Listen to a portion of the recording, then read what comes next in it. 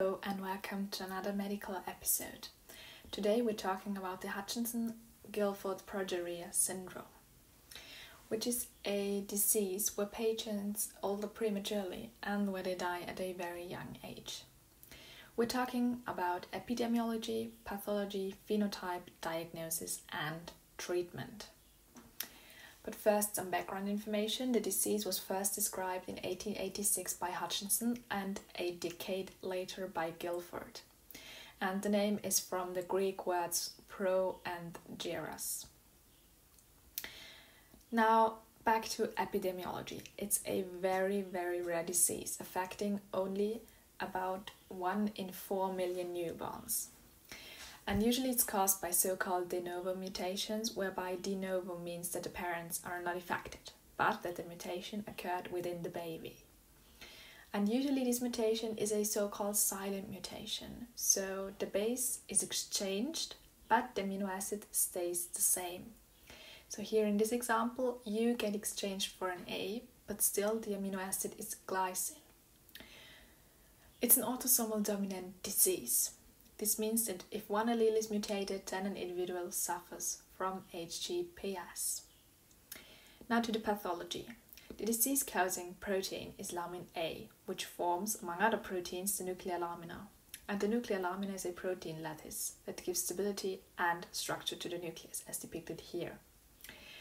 The most common mutation, as said before, are silent mutations. Uh, but this exchange diminishes the second splicing site, Splicing is the process where the introns get removed and is actually a physical process. But as the second splicing site is no longer recognizable by the enzyme, prolamin can no, not be processed to lamin A, but rather stays a larger product called progerin, and this accumulates at the nuclear periphery. It's thought that this is the toxic compound. Then the cells get deformed, and in general, downstream signaling cascades are detrimentally affected.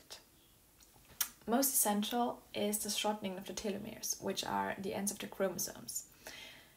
This shortening is a physiological process but usually occurs with advanced age. Now to the phenotype. So at birth, the newborns have a, well, let's say, normal physical appearance. There are, however, first indications like facial cyanosis, which means that they their face has a blue violet color due to the lack of oxygen, and they have a sharp nose. The children start to age rapidly from age 2 onwards, and they have typical features which is associated with extreme age. So the skin is wrinkled, they have age spots, bone lesions, and hip, hip dislocations, as well as fractures. And they're smaller than children their age well, apart from those physical features, their behavior is not influenced and they act according to their age. The diagnosis, well, usually the physician suspects the disease because there is a typical phenotype, but a definitive diagnosis is only possible via genetic testing. The lifespan is limited to the teenage years or early 20s. Most of them die around the age of 13, mostly due to heart stroke. Now to the treatment. So, at the moment, no cure is available, and the children have to be closely monitored, especially their cardiovascular condition. There is actually a drug that was approved by the FDA a few months ago, which is an enzyme inhibitor. And there are also potential future treatment options like gene therapy. The results of ongoing clinical trials will show their potential effectiveness. Now we've talked about HGPS, but there are also mutations in lamin which cause other diseases like Emery-Dreifuss, muscular dystrophy, and lipodystrophies. So in general, we've got four clinical phenotypes which are associated with mutations in LM in the lamin A gene. Accelerating aging disorders, lipodystrophies, neuropathies, and striated muscle diseases. Another interesting aspect is that so far hardly any mutations have been found in lamin B, but rather in lamin A. There are two possible reasons, which are that either those mutations haven't been detected yet or that they might be lethal in embryonic stages, or also a combination of both those reasons.